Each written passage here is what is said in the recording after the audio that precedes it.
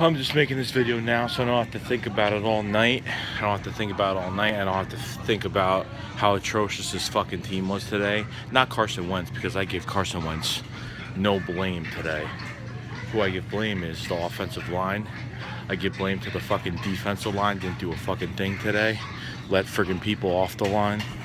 Let people run the ball like crazy today. I had no faith in what just happened. Not no faith in this team. But I will make a video when I get home today. I'll be off work tomorrow. But atrocious, embarrassing, penalties, can't make tackles. Carson Wentz has no blame to this.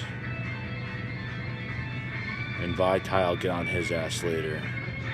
For right now, I'm very upset with this team. After this bye week, we've been going downhill. Other teams are rising. We're just disintegrating to the fucking ground.